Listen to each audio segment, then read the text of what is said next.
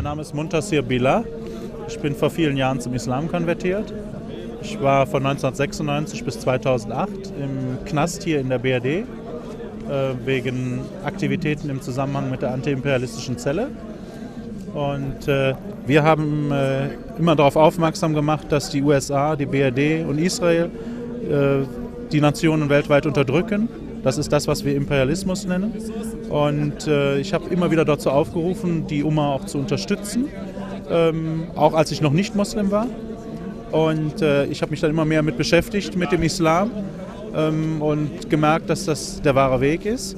Und äh, ich bin religiös aufgewachsen, war ursprünglich vom christlichen Glauben. Und äh, das hat mir in der Haft auch sehr viel Kraft gegeben, während der zwölfeinhalb Jahre im Knast ähm, den richtigen Weg gefunden zu haben. Warum sind Sie äh, Muslim geworden?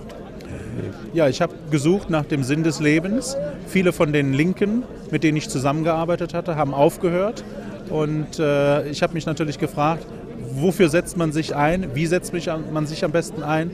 Und ich hatte Studentenkollegen und so bin ich dann mit dem Islam in Berührung gekommen und habe so dann die wahre Religion gefunden.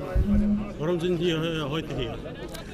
Ja, heute ist ja äh, die Provokation geplant gewesen seitens Pro NRW, den Faschisten praktisch, äh, den Islam ähm, zu verunglimpfen. Und äh, das ist ja deren Wahlkampfmasche in den verschiedensten Städten in Nordrhein-Westfalen, gerade an Brennpunkten vor den Moscheen auch aufzutauchen und zu provozieren. Und so war auch das hier geplant. Und um dagegen zu protestieren, weil ich finde, dass die Muslime dagegen sich wehren sollten und zeigen sollten, dass sie eben für die Ehre des Propheten sallam eintreten und äh, sich nicht einfach wegduken vor solchen Kräften. Deswegen bin ich hier gekommen, um das zu unterstützen. Ich möchte den Muslimen äh, in, gerade in den unterdrückten Ländern, in den vom Imperialismus unterdrückten Ländern, äh, viel Kraft wünschen, Kraft zum Widerstand gegen den Imperialismus. Und ich weiß, die Verantwortung, die gerade wir als Muslime hier in den Zentralen des Imperialismus haben, dass wir Widerstand leisten müssen, um den Brüdern in der Umma zu helfen.